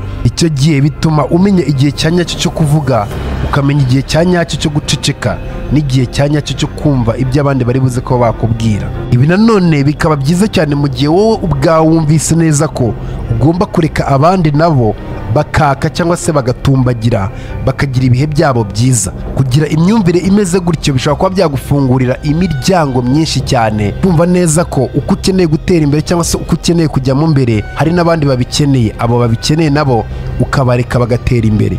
Ibyo nanone bishobora kuba byagufasha niyo ugiye kuba wakubaka umubano wawe n'abandi bantu kubera ko uwo mubano nyine uba wumva ibyo abandi bakeneye kandi ukabibubahira. Itegeko nimero ya makumyabiri na gatanu riravuga ati recreate yourself. Ngira wiyubake ngira wireme. Uwo uri we uno munsi ntabwo bikwiye kuba byasobanura uzaba we ejo hazaza. Imenye hanyuma umenye neza ko ari ugomba kubaka ibikuranga cyangwa se identite yawe. Iyi si ubwayo iduha ibintu bitatworoheye ariko nanone kugira imbaraga no kugira ubumenyi n'ubushobozi bwo kuba wakidefinisa wowe ubwawe ni bumwe mu bwoko bw'imbaraga kandi ziteye ubwoba. Ibyo bizatuma ubasha kuba wakitandukanya na sosiyete n'imitekerereze yabo na expectation cyangwa se n'ibyo baba biteze ku muntu runaka. Wowe cyangwa se undi wundi ariko wasobanukiwe icyo ngicyo. Ibyo biguha uburenganzira bikaguha ubushobozi bwo kuba wakurikirana ibyo ukunda ibyifuzo byawe n'ibyo ushaka mu buzima. Ibyo bikwerekana neza ko buriya ibikuranga cyangwa se identite yawe uba ubifitemo uburenganzira. Ushobora kuba wavuga ati ndashaka ko ibi bintu ari byo bingenga. Ibitakugenga nanone ukabireka na byo. Self determination ni cyo kintu gishobora kuba cyakuribara gishobora kuba cyaguha amahoro n'umutuzo wawe ku giti cyawe. Ntuzajya wumva nta cyizere wifitiye cyangwa se ukumva ibyo urimo ntabwo ubizi. Ujye wibuka neza ko ufite imbaraga zo kongera ukirema bundi bushyashya recreate yourself. Itegeko nimero ya makumyabiri na gatandatu. Riravuga ati keep your hands clean. Ujye uhora ibiganza byawe bisukuye. Uko ugaragara imbere y'abantu buriya bigira icyo bihindura n'uburyo abantu bari buze kuba bagufata. Buriya abantu dukunda ibyo twabonye ibyo ufite mu mutwe cyangwa se ibindi bindi ufite tutarimo turabona ako kanya biza nyuma ariko twabanje kuba twakunda ibyo twabonye. Reka ryose ujye urwanira kugira ibigwi bya nyabyo biri clean clean reputation. Kubera ko nimba udafite ibigwi bya nyabyo biri clean cyangwa se bigaragara neza icyo gihe nanone tuzavuga ko ntacyo wigeze ukora kubera ko ntacyo tubona nyine. Buriya muri buri fomu yose y'ubukungu reputation cyangwa se ibigwi byawe bishobora kuba byaba downfall yawe cyangwa se kuba wagwa hasi ukarangira. Ikigomba kuba wamenya ngano kuba umunyabwenge uburyo ibikorwa byawe ibyemezo byawe abandi bandi baza kuba babyivangamo kugira ngo babyinfluencinge ukavuga ati ese iyo ngiye gufata imyanzuro cyangwa se ibikorwa byanjye mbifata kuko mbishaka kuba nabifata? Cyangwa abandi barabyinfluencinga ibi ntabwo biba bisobanuye neza ko ugomba kuba waba umutagatifu ariko nanone bisobanuye cyane ko ugomba kwitondera. By'abandi bandi cyangwa se ibindi bitekerezo abandi bantu bari buze kuba bagusangiza. Ujye umenye neza ko nimba abantu barimo baragukorera ibikorwa bibi cyangwa se barakora ibikorwa bibi utakifuje ko bakabaye bakora urabizi neza muri bizinesi hari igihe haba harimo ibintu bibi kandi ibyo bintu bibi abandi bakabigukorera. Ujye umenye neza ko ibyo bintu nibafatwa. Bitazigera bikugiraho ingaruka. N'ibyo biri mu mategeko mirongo ine n'umunani y'imbaraga. Kuko niwitegereza abakire benshi n'abantu bakomeye baba bakora ibintu bibi. Ariko nanone bya bintu bibi bagakoresha abandi. Kandi abo bandi iyo bafashwe birabagaruka. Ariko nanone abakire baba barubatse sisiteme ku buryo bibagaruka bonyine bo abakire ntibibagereho. Kugira isura nziza muri rubanda bishobora kuba byaba ikintu cyiza kiri buze kuba cyatuma ibintu byawe bikorwa neza nanone bikaguha umusaruro wifuza. Itegeko nimero ya makumyabiri na karindwi riravuga ati create cat like following. Buriya ikiremwa muntu twese aho tuva tukagera twizerera mu bintu by'ibitangaza cyangwa se ibintu bigaragara nk'aho bikomeye. Icyerekezo cyiza ibintu byiza. Buriya birashoboka cyane ko ushobora kuba wakoresha izo ntege nkeya z'abantu cyangwa se imyumvire y'abantu ukabikoresha mu nyungu zawe bwite. Ukabereka icyerekezo ariko mu by'ukuri icyo cyerekezo urimo urabereka ni ibintu urimo urabaremamo ariko icyo cyerekezo ntabwo gihari. Ujye wibuka neza ko uko utuma abantu biyumviramo ikintu kinini cyane niko abantu nyine bumva bashaka icyo kintu cyangwa se bakinyotewe. Ntuzajya ushaka kubaka cyangwa se ushaka kurema ikintu gikomeye ujye wibuka bino bintu abantu ntabwo bazagukurikirana kubera ibyo ubaha ahubwo abantu bazagukurikirana niki uhagazeho? Niki gituma uvuga ibyo bintu? Niki kiri mu byo uvuga? Itegeko nimero ya makumyabiri n'umunani riravuga ati interact with boldness. Nimba urimo urakekeranya ibikorwa byawe cyangwa se ikintu runaka ntukajye ukora icyo kintu ujye ukireka mpaka umaze kuba wabona clear version umaze kuba wabona impamvu y'icyo kintu. Ntuzajya ujya gukora ikintu ujye utinyuka nyine umenye neza ko icyo kintu ugiye gukora ukizi neza. Ugikore nta bwoba ufite. Hari inkuru y'umugabo wegeze kuba yajya gusaba akazi. Ariko mu by'ukuri uwo muntu wari ugiye ako kazi ntabwo yari azi byinshi byerekeye n'ako kazi n'uwo mwanya. Ntabwo yari awuzi. We yagiyemo kwa kundi wumva neza ko hari akazi runaka ukavuga ati reka ngende nta n'akazi mfite. Ariko mu by'ukuri utazi byinshi byerekeye kuri ako kazi. Ari ugupfa kugenda gutata shanse. Bitunguranye cyane uwo muntu yabonye akazi kandi mu by'ukuri abaje bakiteguriye bari bazi neza n'ibyerekeye ako kazi. Ntibigeze babona ako kazi. Bamubaje ati se ni gute watsinze iriya interiviyu byagenze bite? Arangije aravuga ati yewe hari ibibazo byinshi ntari kubasha kuba nasobanura. Ariko naberekaga neza abantu barimo barankoresha interiviyu ko mfite ubushobozi bwo kuba nakora ibyo bintu mentality. Nari mfite ubushobozi bwo kwemeza abantu barimo barankoresha interiviyu ko mfite ubushobozi bwo kuba nakiga ikintu mu gihe gitoya. Nkabaha zimwe mu ngero z'ibyo nize.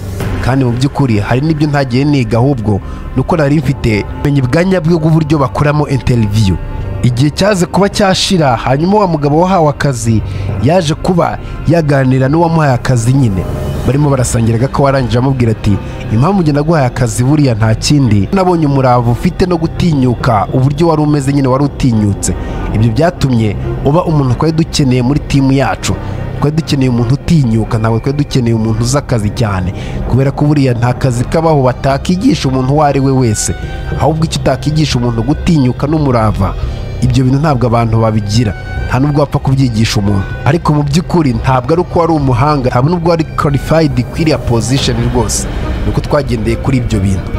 Itegeko nimero ya makumyabiri n'icyenda. Iri tegeko riravuga ati plan all the way to the end. Buriya niwitegereza ukabona umuntu watsinze wageze ku by'iteka ryose yarwaniraga ntabwo aba ari agisida ntabwo ari ibintu yabije gutyo. Byose biba byaravuye mu mipangu no gukora k'uwo muntu nyine. Buriya nta kintu kigora cyane kinayobya kuruta ibindi gukora ibintu utigeze utekereza udafitiye imipangu y'uko uri buze ko wabikora. Zitegereza urebe iyo udafite plan y'ibintu uri buze ko wakora ukora ibyo ubonye byose kandi gukora ibyo ubonye byose byangiza nanone igihe cyawe. Nuhe mukino? Niki kiri mu mukino?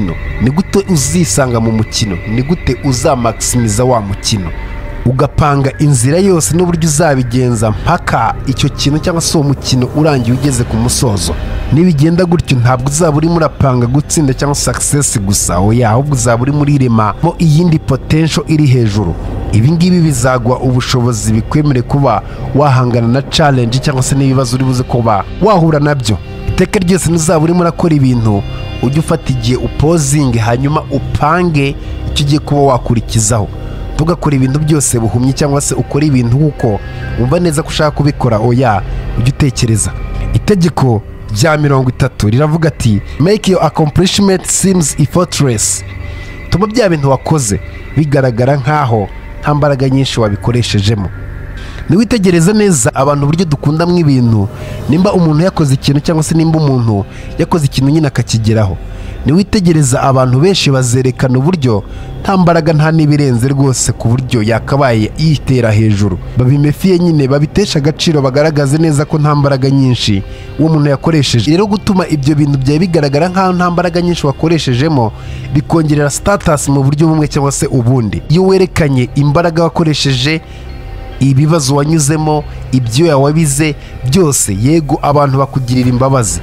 Ariko nanone bihita bikugaragaza nyine nk'umuntu wundi nyine nk'umuntu usanzwe. Uzitegereze buriya abantu bakataraboneka cyangwa se abantu twita abahanga ni ba bandi bakora bya bintu bikomeye. Ariko nanone bakerekana neza ko ibyo bintu babikoresheje imbaraga nkeya. Byari biboroheye cyane kuruta undi uwo ari we wese. Ibi bizatuma abantu bagutinya bahita bavuga ati ah mfite ubundi bwenge butandukanye cyane n'ubwo twakimajina. Ariko nanone ujye wibuka ntuzigere witiranya ibi bintu ngo ubyitiranye n'ubunebwe. Akazi kaba kagomba gukorwa aka kazi kakarangira. Wenda kamara kuba karangira ukereka abantu ko wakoresheje imbaraga nkeya kugira ngo abantu bakubahe nyine ko uri umuntu w'umuhatari cyane ukora ibintu bikomeye byananiye abandi wowe ukabikora mu gihe gitoya ukoresheje imbaraga nkeya. Ariko mu by'ukuri wowe uzi neza icyo byagutwaye. Ujye wereka abantu umusaruro ariko ntukemere ko abantu bamenya inzira wanyuzemo kugira ngo ugere kuri uwo musaruro wawe. Itegeko mirongo itatu na rimwe control the option. Ujye ukontorora amahitamo cyangwa se wabonye. Ujye ukontorora amahitamo wabonye. Buriya amahitamo umuntu ushobora kuba yaguha amahitamo ariko nanone ayo mahitamo akakubera ingorabahizi nanone kubera ko kuyakontorora cyangwa se kuyatandukanya na byo bigiye kuba byagukomerera. Iri tegeko ritwigisha neza uburyo ugomba kuba wakontorora ibyemezo n'amahitamo cyangwa se icyo ugiye kuba wahitamo ukavuga ati iki kintu ni cyo ngiye kuba nahitamo. Tekereza urimo urakontorora diri hanyuma umaze gukontorora iyo diri baguhaye option cyangwa se baguhaye amahitamo menshi. Ayo mahitamo nawe ufite kuba wahitamo ukavuga ati ndahitamo ibi ngibi cyangwa se ntabwo ndi buhitemo ibi ngibi byose biri imbere yawe. Birumvikana iki gihe ushobora kubona amahitamo yose ari meza ugasanga ukoze ibintu ariko ibintu ukoze ntabwo ubizi neza. Bigusaba kuba watekereza ukavuga ati ese amahitamo ngiye kuba nafata ni ayahe? Ndareka ayahe? Singiye arayahe. Ukamenya guhitamo mu gihe ugeze mu bihe nk'ibyo ngibyo. Ibi bigakoreshwa cyane niyo bigeze ku bakozi bawe cyangwa se abandi bantu bari mu buzima bwawe. Ugomba kumva neza ko buri muntu wese aba akeneye amahitamo. Buriya nimba ari umukozi wawe umugore wawe cyangwa se undi wese iyo umubwiye ati hitamo muri ibi bintu bibiri dukora iki cyangwa se tureke iki? Akagira inama aguha iyo nama ukanayigenderaho. Birumvikana uwo muntu umuremyemo ikindi cyizere umuhaye satisfaction ihagije. Itegeko rya mirongo itatu na kabiri riravuga ati people's fantasies. Bishatse gusobanura ati kina n'ibyo abantu bimajina cyangwa se ibyo batekereza bumva bashaka ko bageraho. Buriya ibintu bigaragara cyangwa se realite igira aho igarukira cyangwa se ibyanya byo nyine bigaragara. Ariko imagination cyangwa se ibitekerezo by'abantu by'ibyo bageraho byoho ntabwo bigira aho bigarukira. Uzitegereze buriya iyo umuntu ushobora kuba wamumanipira ukamwereka ibintu byinshi cyane cyangwa se birenze cyane ukamwereka ngo azagera ku ibyo bintu umuntu atansiyo yiwe arayiguha. Uzitegereze buriya urusengero bijeje abaturage ijuru. Abaturage nabo bahise bafata atansiyo yabo bayiha wa muntu nyine wabijeje ijuru. Abantu niko bameze nta n'icyo wabihinduraho. Ari byo uzajya ubona ku mabizinesi yateye imbere bagurisha ibirenze cyane porodagiti cyangwa se ibicuruzwa. Bagurisha inzozi. Bagurisha amasezerano yo kugera ku bintu birenze cyane bya bintu benshi cyane bumva neza ko nyine bidashoboka. Ariko kubera ko bafite akarimi karyoshye bagatuma abantu bizera neza ko bishoboka kandi bagomba kuba babigiramo uruhare. Akaba ariyo mpamvu bagomba kuba baguma bakunze porodagiti zabo. None itegereza buriya biragoye cyane ko nzaza nkakubwira ati numpa amafaranga yawe nkora ibi bintu wenda nzajya nkungukira aya ngaya. Nimba ikubwira gutyo ntabwo uzayampa. Ariko nihaza umuhungu hariya akaza akakumvisha uburyo ugiye ko wakira mu gihe gitoya. Akakumvisha ukuntu mu gihe cy'amezi atatu cyangwa se angahe uzaba urimo uragenda mu modoka yawe icyo gihe uzamuha ya mafaranga. Ariko ngewe ukaba wayanyimye kandi n'igihe wari uri kuguha ibintu bya nyabyo biri realite ariko wawe undi kuko yaje akakumvisha ibitangaza bitariho ni we uri buze kuba waha amafaranga yawe. Niko ikiremwamuntu kimeze. Ibyo bintu hamaze kuba wabibona ukabisobanukirwa rero aba ari ikintu cya nyacyo. Itegeko rya mirongo itatu na gatatu gita disikava ici meni sitampu sikuru buri muntu wese aho ava akagera agira wikinesi cyangwa se ahagirira intege nkeya. Ibyo bishobora kuba byatuma aba adatekanye nyine bikazana insekiriti cyangwa se ibyo bintu bidatuma atikontora byaza amarangamutima yiwe akagera ku rundi rwego akazamuka. Iri tegeko rivuga neza cyane ko ugomba kuba washaka wiki powenti cyangwa se ahantu umuntu agirira imbaraga nkeya ukahiga ukahamenya ntabwo ari uku egisiporota cyangwa se gufatirana abantu. Oya ahubwo ni uburyo bwo kumva abantu bakuri iruhande. Menya neza intege nkeya z'umuntu irimo wa muntu bikorohera kuba mwajya kuri tabure imwe mukajya kuba mwaganira mukanegosiyetinga ibyo bituma ugira kominikesheni iri efekitivili kandi iyo efekitivili ikaba iri ku ruhande rwawe. Gusa nanone ujye wibuka neza ko icyo ushobora kuba wagikoresha ariko ukagikoresha witonze kubera ko nanone bishobora kuba byakuzanira ibibazo. Kubera ko nanone bishobora kuba byakwangiriza umubano n'uwo muntu wari uzi ko bigiye kuba byawubaka ugasanga ibigwi byawe birahatikiriye. Itegeko rya mirongo itatu na kane riravuga ati royo ini yo oni fashoni iya kwiyizera cyangwa se kugira konfidensi ntabwo ari ibyiyumviro gutyo ahubwo ni konfidensi buriya nta na rimwe umuntu azigera akubahira ibyo atabona. Birumvikana ibyo abona birahera ku myambarire yawe imikorere yawe imivugire yawe just appearance yawe. Imodoka ugendamo inzu urimo mbega nyine uko ugaragara. None se ntabwo ari buze kukubaha mu gihe abona neza ntacyo kukubaha gihari. Ujye wibuka neza ko nutangira kuba wakitwara nk'umwami ku bantu abantu nabo baratangira kuba bagufata nk'umwami. Niwifata nk'umucakara abantu nawe bari buze kuba bagufata muri iyo kontekisiti nyine. Ibi bigufasha kumenya ndetse ugasobanukirwa agaciro kawe ntiwiciriritishe cyangwa se ngo wishyire hasi. Nimba werekanye neza ko uri umuntu ntavogerwa ukerekana agaciro kawe birumvikana nanone abantu baratangira kuba bakubona muri ka gaciro waberetse. Ibikorwa byawe bigomba kuba byajyana buryo ushaka uko abantu bagufata. Niba ushaka ko bagufata nk'umwami tangira wireka abantu nk'umwami. Itegeko rya mirongo itatu na gatanu ku gitabo cyacu 1480 law of power ryita master the art of timing. Yaba mu mubano wawe yaba mu bikorwa byawe yaba muri bizinesi aho ariho hose. Ikintu bita igihe byananiye abantu hafi ya bose. Buri muntu wese aba yumva neza ko ashaka kugendera ku gihe ariko byarananiranye. Ariko iyo wabashije kubimanaginga ukabimenya. Ndakubwiza ukuri nta kindi kindi kiguha umusaruro cyane kuruta ibyo ngibyo nyine uko wamenye ku masitaringa icyo gihe. Kuba wagera imbere cyane y'igihe mwahanye n'umuntu ukahagerera igihe mbere nanone ntabwo biba bifite igisobanuro. Ariko nanone bikaba bibi cyane iyo uhageze nyuma cyane. Nanone icyo gihe uba ubyangije byose birumvikana igihe cya nyacyo ni cyo kiba gifite agaciro kuruta ibindi ibyo ari byo byose. Buriya buri kintu cyose uzajya ujya gukora yaba ibyemezo cyangwa icyo ari cyo cyose ubona neza ko kiri buze kuba cyagira impakiti cyangwa se kiri buze kuba cyagira ingaruka kuri wowe. Ukabanza ukagitekerezaho ukumva neza ko gikwiye. Wakumva ko gikwiye? Oke ugahita uvuga ati ubu ngubu noneho nagikora. Wakumva ko kidakwiye nanone ukakireka. Ujye wibuka ko ugomba kwiha igihe muri buri kimwe. Itegeko nimero ya mirongo itatu na gatandatu riravuga ngo this day things you cannot have. Buriya ibyifuzo cyangwa se kumva ikintu ugishaka biri mu bintu bishobora kuba byatuma tugera ku kintu. Ibyifuzo bidusunikiriza kuba twakora ikintu icyo kintu nanone ugasanga kitugiriye inyungu. Ariko nanone ujye wibuka neza ko kwifuza bishobora kuba byatuma tubura ibyo dukeneye ibyo twapangaga cyangwa se ibyo twatekerezaga ntibigende nk'uko twabitekerezaga. Iri tegeko ritubwira neza ko ugomba kwitondera ibyifuzo byawe cyangwa se dizaya zawe. Cyane cyane iyo bigeze kuri bya bintu udashobora kuba wagira.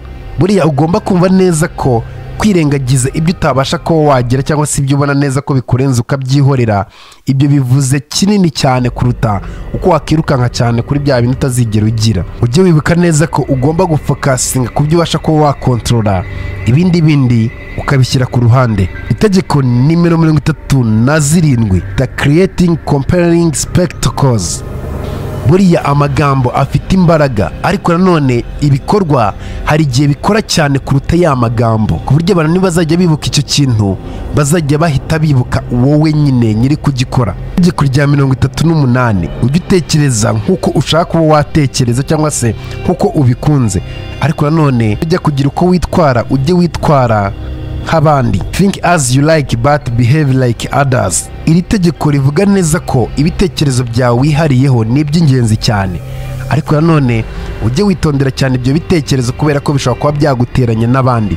Ujye ubaransinga ibintu byombi ubishyire uzane urebe iby'ingenzi cyane. Aho ibitari ingenzi byo ubireke. Ujye witondera uburyo uri buze kuba wakigaragaza ku bandi cyangwa se uburyo uri buze kuba wakiyereka abandi kubera ko na byo bigira igisobanuro kinini. Itegeko rya mirongo itatu n'icyenda. Ati rapu wota tu kaci fishi sandaguza cyangwa se shyira amazi hejuru kugira ngo ufate ifi.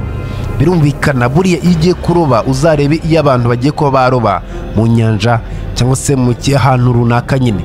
Hari igihe bisaba neza ko hari aho bari bukangire amafi kugira ngo ya mafi agende yegera aho bari buze kuba bayafatira.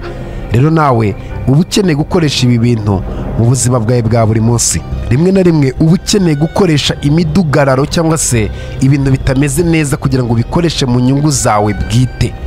Birumvikana cyane ni ukureba uburyo ibintu bitameze neza ku muntu runaka cyangwa se ahandi hantu ukabikoresha kugira ngo ugere ku ntego zawe. Kubera ko hari igihe usanga intego zawe zaranze kuba zagerwaho ariko nanone haba sikandari cyangwa se haba ikibazo runaka. Ukaboneraho kuba wazamuka nyine kugira ngo ugere kuri bya bintu iteka ryose wahoraga utekereza kuba wageraho ariko nanone ugatsikamirwa kubera uwo muntu wavuye mu nzira. Itegeko rya mirongo ine riravuga ati despite the free lunch. Tugenekereje mu kinyarwanda biravuga ati ibintu by'ubusa cyangwa se ibyo kurya bya saa sita by'ubusa ujye ubireka. Wibibarira mu byo kurya bibarire mu buzima bwawe bwa buri munsi. Buriya ikintu cyose cy'ubusa cyangwa se ikintu bazajya baguhera ubusa ujye witonda cyane. Kiba kizanye n'ikindi giciro kiri hejuru cyane uzishyura kandi ukacyishyura uvunitse cyane. Ujye witondera buri kintu cyose ubona neza ko kije ari nk'ubusa mu buzima bwawe. Nta kintu cy'ubusa kibaho. Nubwo kije muri iyo fomu y'ubusa kiba kizishyurwa. Ni na cyo bavuga ati twagabanyije ibiciro muze mugure.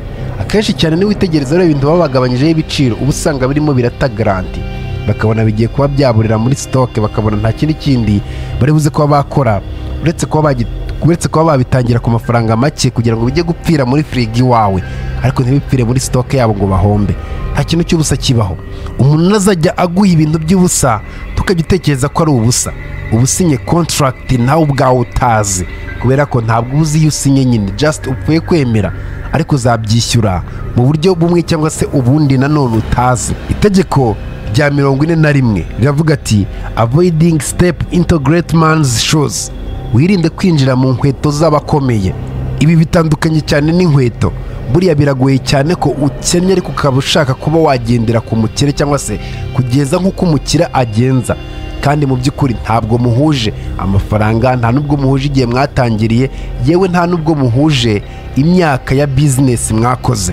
Iri tegeko rikwibutsa neza ko nimba ugiye gukora ibintu byawe kora ibintu nyine byawe. Yego ubigiyeho ariko nanone ntushake kwipasa muremure. Ushake kubaho nkabo kubera ko nabo icyo gihe urimo uranyuramo bakinyuzemo kera cyane. Rero nimba amaze imyaka icumi cyangwa se cumi n'ingahe yarakinyuzemo wikumva neza ko nawe ugomba kumera nkawe. Uramera nkawe se uri we. Mujye mwirinda gushaka kugendera mu nkweto z'abakomeye z'abantu bari kure yanyu. Itegeko rya mirongo ine na kabiri riravuga ati kubita umushumba w'intama. Intama zizahita zitandukana zizahita zitatana. Buri yose izagenda mu cyerekezo cyayo. Buriya ubuyobozi cyangwa se kugira ubuyobozi bwiza ni indi sura y'imbaraga. Birumvikana cyane nimba utagitinze abaturage runaka uri buze kuba watagitinga umuyobozi wabo. Umuyobozi wabo numugirira nabi biroroshye cyane ko n'abandi uzabagirira nabi. Birumvikana cyane nufata umuyobozi wari uyoboye itsinda runaka hanyuma ukamushyiramo propaganda mbi cyangwa se imitekerereze mibi abandi baturage ayoboye kumukurikira bizoroha cyane. Kubera ko buriya kuba umuyobozi ni ikintu kidasanzwe. Abantu baba baragwaye icyizere bakavuga ati icyo uzatubwira tuzakora icyo iyo uzashaka ko tuzajya tuzajya aho ngaho kuko twagushyizemo icyizere cyacu. Rero iyo uwo muyobozi ubashije kuba wamuha ibitekerezo bitari byiza cyangwa se byawe birumvikana ba baturage biwe nawe uzabajyana mu buryo ushaka. Itegeko rya mirongo ine na gatatu riravuga ati on the heart of mind of others. Ndetse kuvuga mu kinyarwanda ati kora ku mitima n'ibitekerezo by'abandi. Buriya kugira imbaraga biragusaba kugira ibitekerezo influence z'abandi. Shaka uburyo wigarurira ibitekerezo by'umuntu n'umutima wiwe. Numara kwigarura umutima wanjye n'ibitekerezo byanjye aho uzaba ufite uzankoresha icyo ushaka. Ariko mu gihe utarabasha kuba wakigarurira ibyo bitekerezo byanjye n'umutima wanjye icyo gihe uracyafite urugendo runini rwo kuba wagenda. Ujye wibuka neza ko buriya nimba abantu bakubaha ndetse banagukunda icyo uzatangiza cyose bazaba bahari kugira ngo bagusipotinge kugira ngo bagutere ingabo mu bitugu kubera ko baragukunda nyine barakubaha. Rero kugukunda no kukubaha ntabwo ari ibintu biza gutyo ni ibintu uharanira kuba wagira. Mu gihe udahari ujye umenya neza ko icyizere cyawe gikomeza kuba cyaba gihari nyine. Uzubakemo abantu icyizere ku giciro icyo ari cyo cyose bigomba kuba byagusaba. Itegeko rya mirongo ine na kane buriya indorerwamo cyangwa se ikirori takitike nziza wakoresha kugira ngo wigarurire imbaraga kakaka mu bandi bantu. None iri tegeko ryo biragusaba kuba warikoresha muri adivantage zawe cyangwa se mu nyungu zawe bwite. Buriya kureba ibitekerezo by'umuntu amarangamutima y'umuntu ushobora kuba wabikoresha mu kubona inyungu zawe cyangwa se ukabikoresha uburyo bimeze ukabikoresha ariko nanone mu buryo bwawe. Kuko birashoboka cyane ko ushobora kumanipira amarangamutima yawe. Hanyuma amarangamutima yawe namara kuyafata nkayakoresha mu nyungu zanjye bwite. Iyo wamaze kubona neza umuntu uba wamaze kuba wamenya nyine uwo ari we.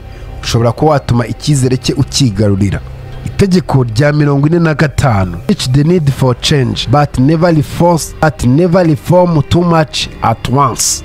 Ugenekereje mu kinyarwanda biravuga ati bwiriza ibikenewe kugira ngo uhinduke. Ariko nanone ntuzigere na rimwe uhindukira rimwe cyangwa se uvuga ati ngiye guhinduka wese uhinduka ku kanya. Oya ugenda uhinduka gake gake ukagenda uhindura bimwe mu byo watekerezaga cyangwa se wakoraga gake gake mpaka urangije. Uko uhinduka utabitekereje cyangwa se ugashyira imbaraga mu guhindukira icyarimwe izo mbaraga nanone hari igihe usanga ugiye kwangiza ibintu byinshi.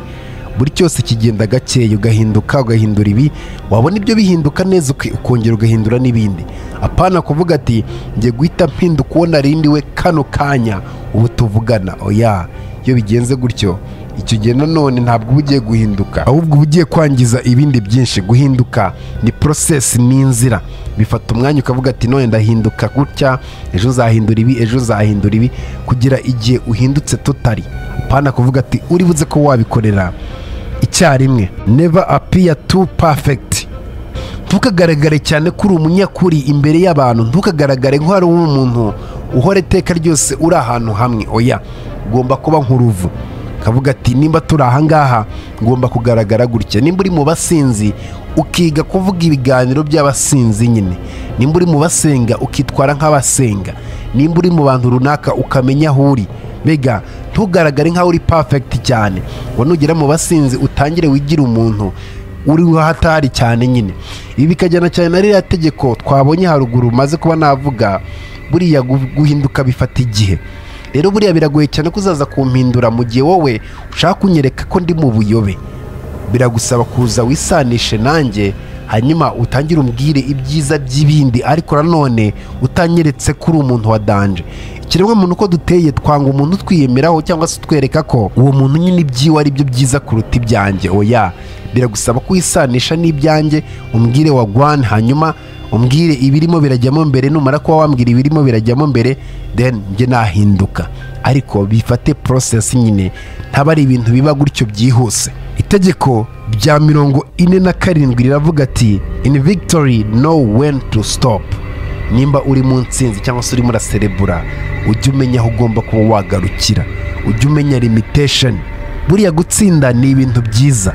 Ariko nanone buriya gutsinda hari igihe bigumye amaso nturebe neza iby'ingenzi cyangwa se ntufokasinge ku byo ukwiye kuba wafokasingaho.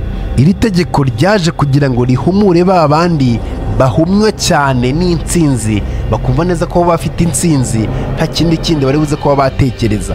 Kuko nabikubwiye ati buri cyose iyo kibaye cyinshi cyangwa se kikarenga kiba kibi. Gute wumva neza ko nutsinda ugaserebura cyane bikarenga urugero byo bitari buze kuba byakubera bibi. Ugomba kumenya iyo ugomba kugarukira n'ibyo ugomba gukora n'ibyo utagomba kuba wakora. Buriya kumenya aho ugomba kuba wagarukira biragora cyane nko kumenya aho ugomba kuba watangirira. Ujye ubyibuka iyo utsinze ukagera kure cyane hari igihe bituma ba bandi witaga inshuti cyangwa se ba bandi mwafatikanyaga bitewe n'imyitwarire yawe bashobora kuba bakubera abanzi. Ibyo bikakuzanira challenge bikakuzanira ibindi bibazo. Ibyo wabonaga nk'umugisha ibyo wabonaga nk'intsinzi bikaba bigiye kuba byakubana ibintu bibi. Buriya ugomba kwibuka neza ko ugomba gushyira objective cyangwa se ibyo ushaka kuba wageraho ariko nanone ukagira discipline mu gihe wabigezeho. Buri cyose ukamenya uko ugomba kugitwara n'igihe ugomba kuba wagitwariramo. Gusa ibyo bigusaba kuba wiyizi ukanagira ubushobozi bwo gusubira inyuma ukajya kureba uko situwasiyo imeze. Ukayasesenga ukavuga ati ese ko natsinze ubundi bwo?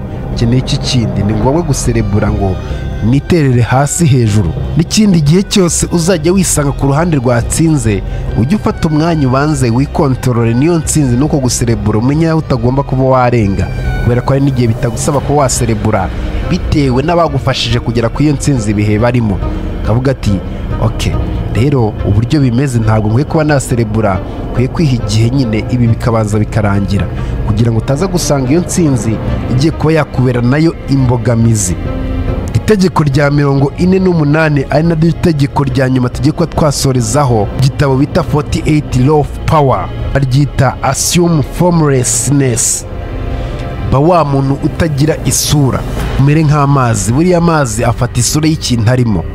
Isi na yo ubwayo uburyo imeze ni isi ihinduka umunsi ku munsi. Birumvikana cyane nimba isi ihindutse ugomba kumva neza ko ugomba kugendana n'impinduka. Ntabwo isi yahinduka nawe ngo ukomeze ugume ahantu hamwe. Hoya nimba isi ihindutse emera neza ko ugomba kujyana n'impinduka. Ugomba kuba umuntu uri adaptable cyangwa se ufite adaptability muri wowe. Ikibaye cyose ukaba uri kumwe na cyo ubukungu nimba bumanutse uratangira kubaho nyine muri ubwo buryo. Nimba buzamutse nawe utumbagire. Kumera gutyo ntabwo bivuze neza ko ugomba guta icyerekezo cyawe. Oya ahubwo ni ukugira adaptability muri wowe. Kugira. Ugomba gukontorora situwasiyo mu gihe wayigezemo. Ndakeka aya ariyo mategeko mirongo ine n'umunani aba mu gitabo ta 18 law of power. Ni umwe mu bafana wacu wari watubwiye ati tuzakinyuremo. Ndakeka yari yo samari yacyo videwo yabaye ndende. Ariko nanze kuba nakora ibiganiro bibiri. Ndavuga ati reka mbirangirize rimwe. Uzacyumva nyine azafate igihe. Ariko nanone bidasabye ko arindira cyangwa se bakabicagaguramo. Ntabwo mbikunda. Mwakoze cyane kubana nanjye nimba ugejeje hano iki kiganiro. Ni ikigaragaza neza ko uri uw'ingenzi kanda like na subscribe. Unandike muri komenti uri umuntu ugejeje iki kiganiro hano agomba gusiga ikimenyetso ko yagejeje iki kiganiro hano. Kubera ko abanyotewe kuba yakira abanyotewe kuba yahinduka.